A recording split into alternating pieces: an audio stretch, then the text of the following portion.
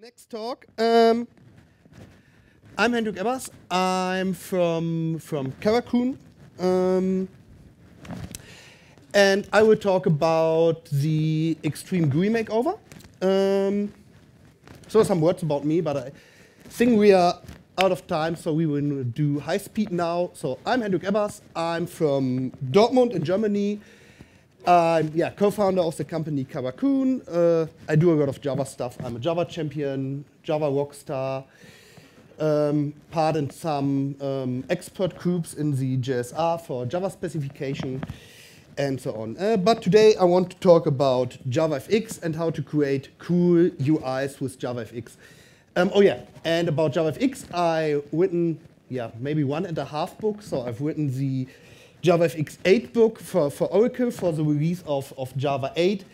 And for dzone, I did the JavaFX 8 ref card. Um, okay, so this is what I want to talk about today. So let's say you have an old school application that is maybe pixelated, do not look that shiny. And um, in this session, we will talk about how you can yeah, make it better, how to define a better UI, a better design, a better usability for such an application.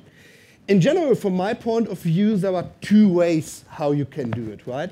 I wanted to display it here. So the one way is that you can do some general technical polishing, maybe do, do some styling to have some components that look a little bit better.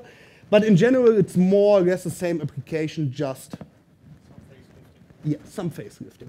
Or you, yeah, do you, a completely new startup from the ground, create an intuitive new modern UI, use fancy components, and create something unique.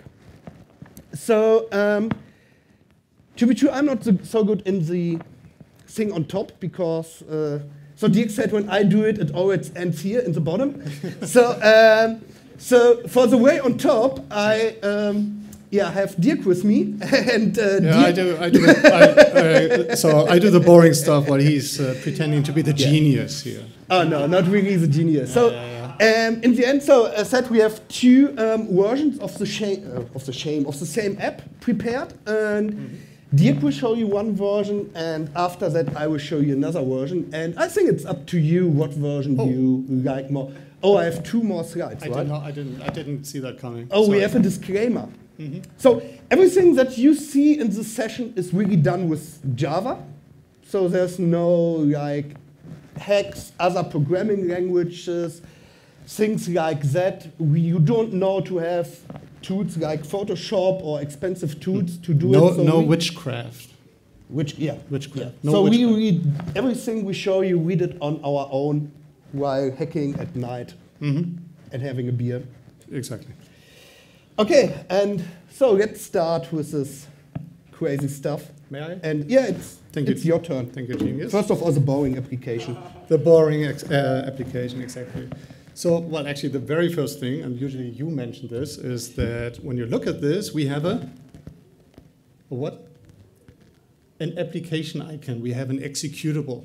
And uh, maybe nowadays people take this for granted, but now with the Java packager, we can actually build nice applications with the real operating system specific icon, and it really looks like it's a native application, right? It's seamless.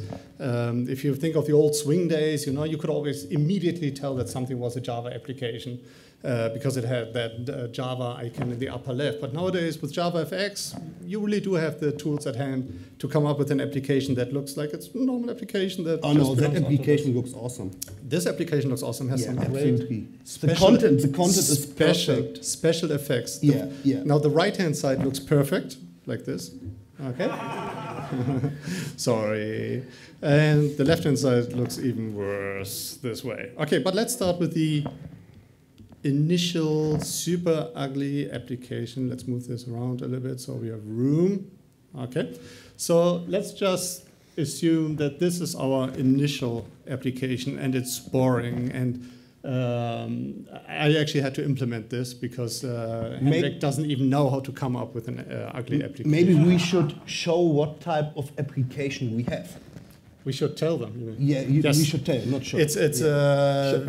video database, like or DVD database that somebody might have written at home uh, to create a catalog of the DVDs you have. Okay, so there we have this list of movies in our database, and you can click on one, and then you can you get some description of the movie. You click on show trailer, and then hey, great, we have YouTube integration, and we can actually see the trailer. Great, YouTube integration. YouTube. I'm a triple A integration. rated executive protection agent. So, like this.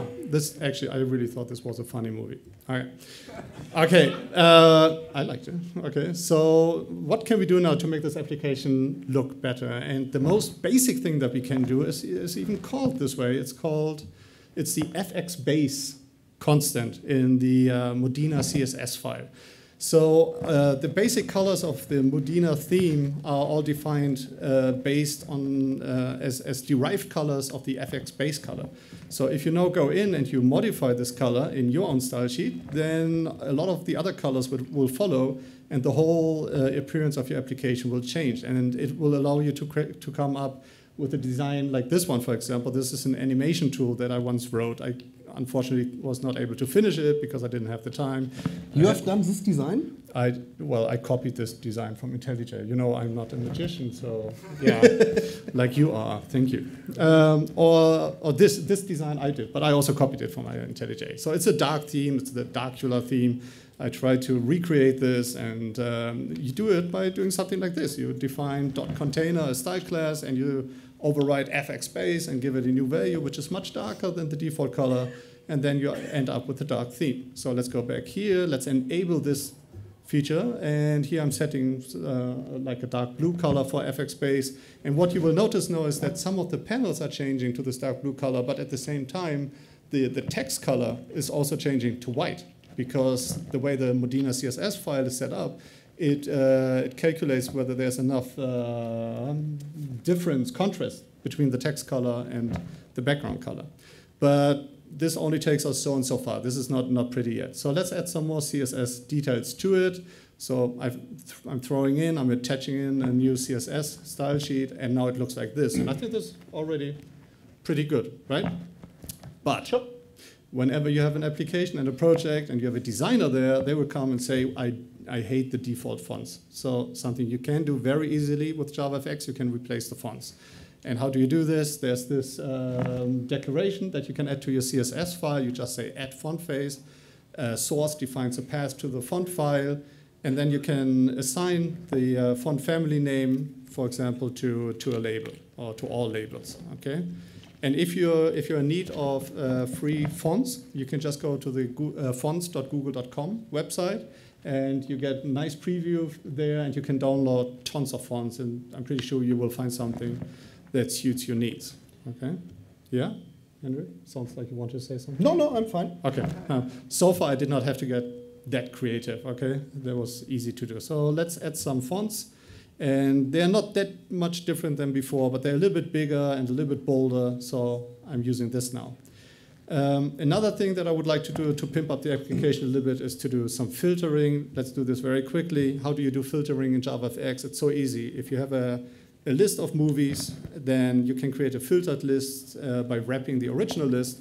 You can then create a sorted list by wrapping the filtered list, and then you pass the sorted list to the table view.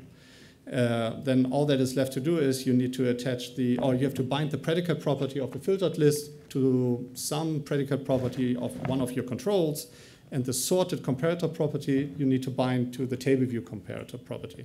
So let's Maybe before you activate this one, Okay. uh, one important point or interesting point um, is that until now, we only did CSS, right? Yeah. There's nothing different in the real Java source code. It's just CSS from this gray, ugly, uninteresting application where we started with to Like yeah, this? this one to, to this one. This is really just CSS. Oh, there's one thing we can make it even better, the application. Hands off. Ah, yeah, yeah, that was a, the wrong selection. Yeah, somebody here seems to be a big Star Wars fan. So let's turn on filtering. This now enables this nice little text field here. Of course, I filter for Star Wars. Okay. Star Wars? Good. Thank you. All right. So this works very nicely. Okay. Let's select my favorite movie here.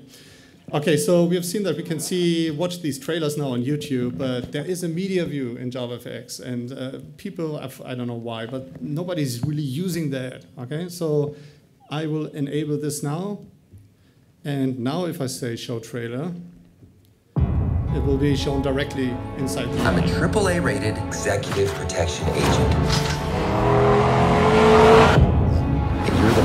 Wanted hitman in the world. Yeah, okay, I'm spoiling this for you now. all right? Okay, so it's so easy to add like a, a, a movie preview or yeah, any, any video preview to your application. Okay, very simple. Um, let's do this again. I'm showing this because this is just a standard node in the scene graph. This also means that you can add other nodes and uh, overlay it with other nodes. So when you did something similar with Swing back in the days, then usually the video player was some heavyweight control, and you couldn't really put any other controls on top of it, except that they were also heavyweight controls. But these nodes, they're all the same. Okay, so it's very easy to compose them to something more complex. And another thing I want to do now is um currently that trailer it just shows up, it pops up like this. So let's add some animation to it. And what I want to do is I want the media player to, uh, to uh, slide in from the top like this. All you need to do for that is you have to unmanage that node. You have to give it a negative layout coordinate like this, layout equals minus 400. And then you just change that one layout Y property over time, and that will give you an animation. Right? So media view set manage false, then some offset, and and that's it. So let's stop this in the background. It's too noisy. So in the rehearsal, you were singing at that moment. I was. I'm sorry. I will not do it today. Okay. Yeah, not in the presence of genius. Okay. so, and then once you have this uh, media view outside the visible area, uh, what you can do is you can create a timeline animation. Uh, you define a couple of keyframes where you modify the layout Y property, and then hopefully the thing will slide in. Okay, so let's make it disappear. I enable the animation part.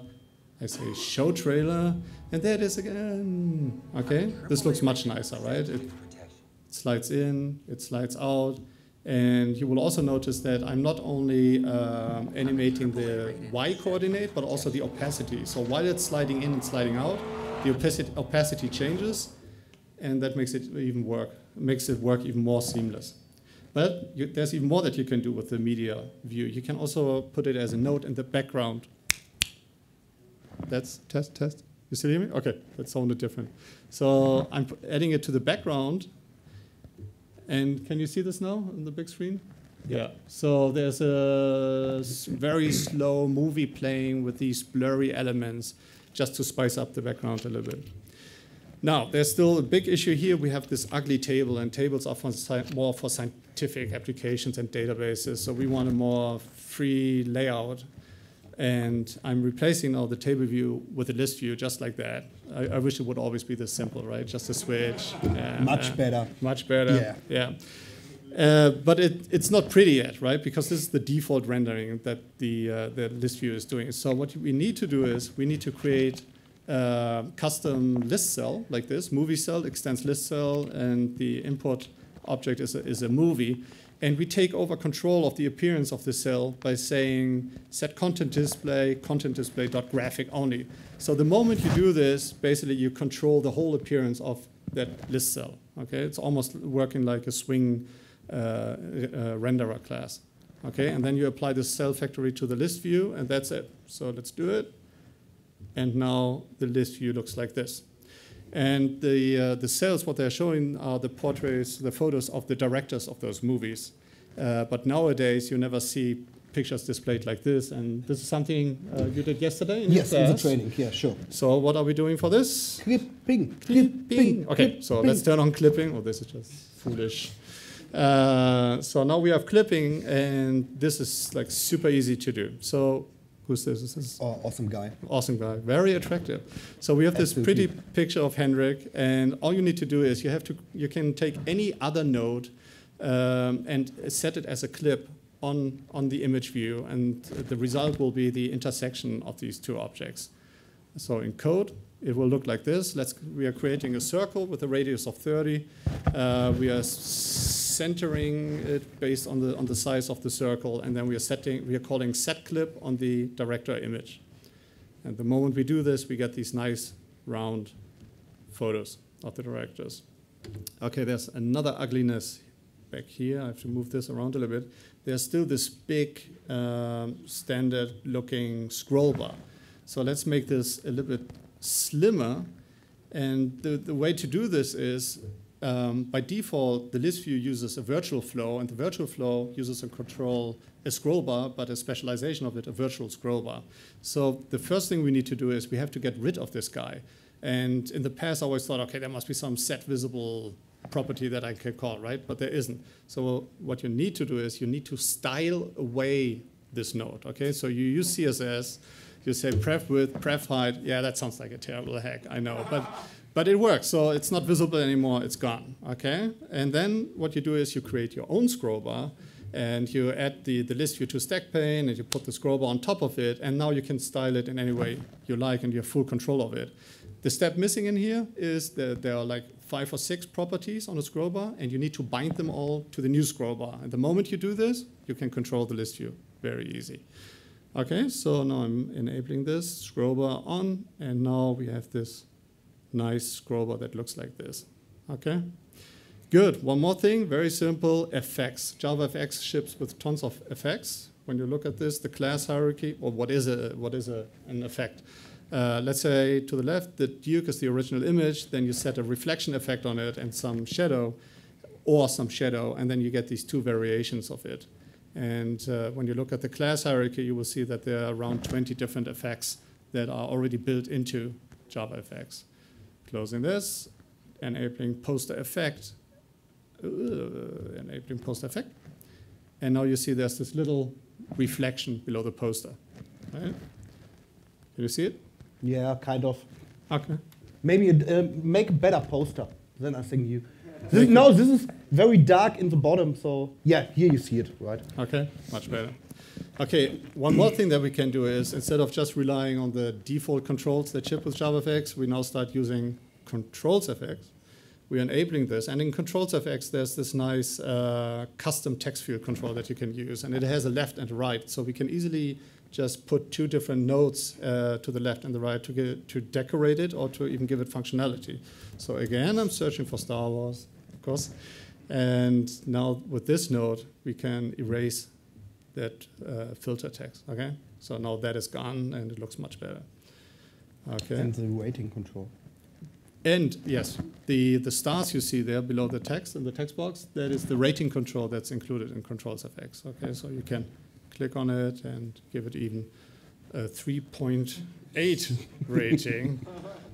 That's too much, right? It should only, uh, maybe that can be controlled too in some way. Okay, two more things I want to show, because, and we really have to rush, uh, running out of time again. I want to be able to take this text here and drag and drop it, drag and drop it.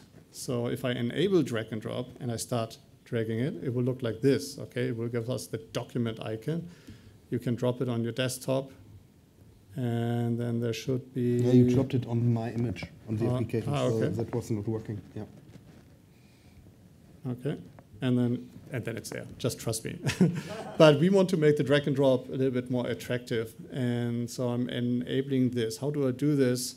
Well, you can register a set on drag detected listener on the node, and then you have to perform a couple of steps. Uh, you have to initiate the start drag and drop. Um, this is common code that you always have to write to support drag and drop.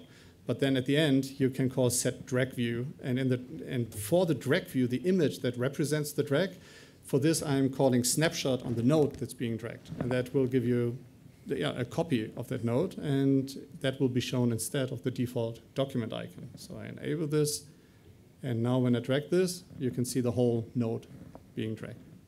All right? But there's still a fundamental flaw uh, that uh, this design was not done by a person who's good with designs and graphics like Hendrik. So Hendrik would do would have probably re-implemented the whole thing in the first place, right? Okay. Just say Um, yes, yes, sir. Yes, Dirk. Yes, Mr. Lemmermann. okay, so let's start the second application. So, so what we did afterwards, um, we decided that um, the application that Dirk shown still has some some problems because um, so at the beginning it was a basic table-based application and and the the general layout and and how the components are ordered really looked like a form-based classical business application. And what we decided then is to okay start again from scratch and create a I don't know, image view, image management application, how such application looks in our days. And um, so what we took as an example was things like the Apple TV, like the Google Chrome player, stuff like that, how the UI of those applications or yeah, things look today. And um, based on this, we created a second application. Um, so this is the basic view of the application. Um, in general, what I did is I created this layout by using um, the scene builder. Um, and everything you see here are really plain JavaFX applications, more or less the same that Dirk used, um, or that we use in the first application that Dirk showed. So, for example, when having a look here at the um, bottom of the application, we have here the um, movie selection. So instead of having this, this table or at the end this list that Dirk shows, it looked on my side yeah, like this. But to be true, this is no magic, this is a list view. So in JavaFX, the, the list view has um, a parameter, a property, where you de can define the orientation of the list view, show if it, if it should be horizontal or vertical. And we just changed the orientation of the list view and then wrote a custom cell renderer that yeah, simply renders the, the image poster of the movie as the cell. So this is really a plain, classic, oh, your mouse is much faster than mine. Um, a plain classic um, list view, so we have some binding, so whenever I select something here, everything on the top will be updated. Um, so we're choosing a different layout, and the next step is more or less the same as we did with DX. Oh yeah, yeah, I used um, Scene Builder to create the application, and one cool thing in Scene Builder is that in Scene Builder you can already work with CSS. So you can modify your CSS file and in Scene Builder see in real time how your application will look like. That's a big benefit of using Scene Builder. And um, yeah, so we developed the application first of all in Scene Builder and with CSS before we even wrote one line of Java code. And um, so the outcome of Scene Builder looks more or less like this. So we did some styling, we changed more or less the things that Dirk already showed. We changed the font, changed some colors. Here we have a darker background for, for our list view. We changed um, some things in the um, cell renderer so that the selection looks different than in the general JavaFX cell. Um, but this was more or less done completely with CSS. For sure, we needed to write the um, the cell renderers for, for the list view, but everything else is FXML and CSS. Okay, um, so for the first application, we decided to, to have a kind of blurry animation in the background, to, to have a nice background. Um, here we wanted to try something else, so we don't, don't want to have this gray background. What we wanted to do is how they do it in, in such application show a picture of the movie or something like that in the background. Um, let me first of all activate it, which ended in yeah, a look like this. So we have an image in the background from the movie that is grayed out so that you can still read everything. Um, so th- the idea was quite easy to do something like that, but it was really complex to, to do this because um, since we have here a desktop application, I can easily change the size of the application, right? It can have this size, it can have this size, it can have this size, and so on.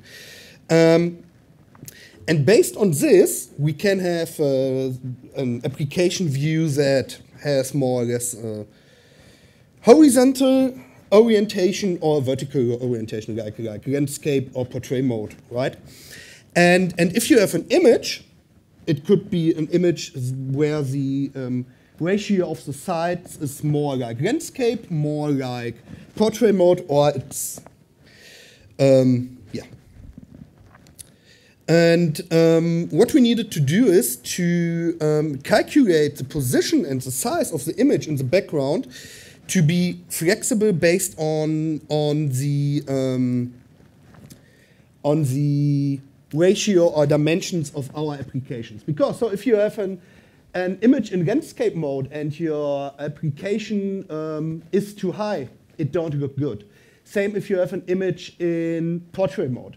You can easily um, do, uh, or you can easily bind the image view by using this fit width and fit height properties to your scene. But you can only bind one of those, then you will end in something like this, or you bind both, and then the ratio of your application will be destroyed. So you will have like here this walkers where the the legs are much too large. Um, so based on this, we created an application that gets in the width and height of the image and the width and height of the screen, and then calculates a dimension for the image, how the image should be um, yeah, layouted in our application to have the perfect view. Uh, yeah, this is so, so there's more or less it's one if else that checks, okay, are we in landscape or portrait mode? And then um, calculates the um, viewport and the size of the image. And, and by doing so, we always have um, an image that fits our whole background of the application, but, but never is scaled in a bad way or something like this. Okay, um, the next thing I want to do, so in general, yes, I select the movie here in the bottom, but after it, this area in the top is the area that is important. So once I selected the movie, I don't care about this list here in the bottom. So um, what I wanted to do is to hide the list once you selected something or when you go out of the focus of the list. Um, to do so, I use the JavaFX animation API like um, Dirk did for the um, for showing the, the movie player. Um, so what we did is we defined, like Dirk did it, um, a translation, or we set the translate um, of the list to a specific value and then just entered, um, added mouse listeners to the list that will be fired once the mouse enters the list or once the mouse um, exits the list. And um, these events then will trigger the animation to, to play the animation or to stop. Um, so for the animation, I don't use this full-blown animation API with keyframes and so on, because JavaFX provides some nice animation classes which are called transitions. Um, and JavaFX has several specific transition classes that extend the basic transition class that helps you to do a transition for rotation, for scaling, for translation, for changing a color, for fading something out by changing the opacity of a component and so on. And these are very easy because they are already, um, or the functionality of these transitions are perfectly match what you want to do. So for example, for the translate transition, you can just say, okay, I want to translate from this value to this value. And by doing so, when starting the transition, the component will automatically be translated. So um, let's start this one. And oops. And here we see that, why is it that slow? Oh, that's, hmm. okay, normally it's not that slow. Um, but, but here you see, um, yeah. that it's fading. Ah, come on, that it's fading in and out. Mo- normally it's not that slow. I don't know why it's that slow, but but anyway, I think this um, shows that it's important to use the animation API in this point and not do it on yourself because if you do not have enough CPU or things like that, the animation API will take care of it. And even if the frame rate is not, not perfect, um, the animation will be done in the defined um, um, period of time. So it, the animation won't take longer, for example, if um, you're running out of CPU or something like this. So you won't have any problems, maybe without a small fra frame rate. But oh yeah, so now you see it's, it's getting much better. Um, so now I think, let me see, I think he, yeah, he likes The Hobbit, right? And he don't like Star Wars. Is it like, yeah, I don't know why. Okay. First of all, I thought it's something with, you know, hotspot, um, that now it's compiled perfectly for DX machine and now it's fast, but it's still the problem with Star Wars, so actually I have no idea why. Um, so it's faded out, which is okay, but this don't look that good, right? You, now you see like half covers there somewhere in the bottom. You want to scroll there, it just look weird. So um, what we did here, we just added an effect to, to the list, which is a shadow effect. And um, when we zoom, so the, the, shadow effect is more or less always there. When we zoom or when the list um, goes to the bottom by the animation or fades out, it will go behind the shadow so that you don't see anything. And if you see the whole list, you can easily see it. And because the shadow is just in the bottom, and it, in addition, oh, here should be an, should be another slide because in addition I animate the opacity of the shadow and bind this to the animation of the list. So when the list is there, you don't see the shadow. When the list fades out, the shadow comes in or fades in. So let's activate this. I think that won't make the list faster. but oh yeah, so this is okay, right? So now we see everything and now it really looks like the list is hidden. Let's try it with Star Wars. Oh, come on, really? okay, um, another thing I want to show is transformations. So, so we always work with transformations here by um, moving the, um, the list in and out, but in JavaFX you can do a lot of more transformations. To be true, you can do every affine transformation that you can do with an affine matrix. Actually, I can, I can tell you what you really can do with it because I'm not a mathematics, so you have really like matrix transformations.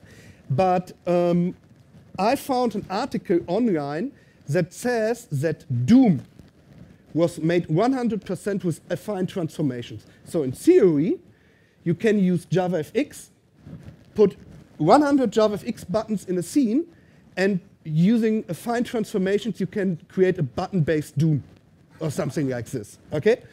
Um, so I just used a small transformation here that gives my poster a kind of 3D effect. So to be true, this is not a JavaFX 3D node or something like this. This is really still the 2D poster, but it is transformed by multiplying the, the points of the poster with with a transformation matrix. And by doing so, the poster looks like, yeah, it would be 3D in the screen. Um, so, so now more or less everything of my application is styled. There's just one thing that is not styled that I do not like, and this is this, yeah, native macOS application toolbar that is shown on the top. So, because this, first of all, do not fit to my application. Next, on Windows, it looks a different way, and so on and so on and so on. So I do not want to have it. Um, but you can get rid of it because in JavaFX you do not need to have it to be true. You need uh, it, it's um, by default a stage have it, but there's an enum in JavaFX. I think it's stage style, or window style, um, and you can change each stage to have a different style. And one style is, for example, to not have any native um, bar in the top. And if you do that, you can just get rid of it and maybe create your own custom bar so that it, for example, looks like this. Um, to be true, when, when you do something like this, you even lose all the functionality that is part of the native bar. So this drag and drop, right? I created this or I coded this in JavaFX on my own. Because normally you do it on the native bar, it's not JavaFX code. Since I do not have a native bar now, I really need to track it on my own. Yeah, and I just added a close button and a maximize button, so you can, JavaFX has um, a full screen mode, and the other one just closes the application. Um, so since we only have one minute left, I won't show this now. Um, I will show the last one. Um, so this one was created by um, defining the stage style to something which is called like window. So you get a, a white rectangle from your operation system and can paint anything in it. Um, this is one thing that you can do next to having a window with a native uh, bar on the top and so on. Another one that you can um, do is define the window to be undecorated. By creating an undecorated window, you really get a rectangle from, your, from the operation system that is not filled. So there's nothing in it. It's, think about an invisible rectangle somewhere in the operation system, like you, you drag something like this, okay? And since this is not filled, you do not need to have um, an application frame that is a rectangle. You can do whatever you want. And um, so what I did, I um, choose to have a window which is um, undecorated and then paint my whole um, custom application frame to be true. At the end, it looks more or less like this one. The difference is that it will create, uh, what I did is I create rounded borders. Here you see it, right? Let's go back. Boop, boop, boop. Here you see it, right? So in this case, I really have, a, or I, I'm starting with a window that really contains nothing, and I paint my application in it, and where I do not paint anything, yeah, it's just blank. So you can look behind it. You can even now, based on this, could create something like, like alpha values and have um, transparency in your application that you can kind of look behind it, see what is behind. You can even then use blur if you want. Like you do a snapshot, blur it, and, and show it again. You can do crazy stuff if you want. Um, but, but mostly it's something like this that you maybe want to have, like rounded corners to, to have a, um, a UI that more or less looks consistent. Okay, so it's already one minute over time, right? Okay, so um, yeah, I hope you like it. Um, the whole code of this one is, is online. Dirk and I, we have um, a repository. Actually, I don't know if it's at Bitbucket or GitHub, uh, but Dirk knows it. And uh, since we do not really have slides, but the slides are part of this um, feature toggle tool that we use for the presentation, the repository contains really everything without the trailers. Okay, thank you.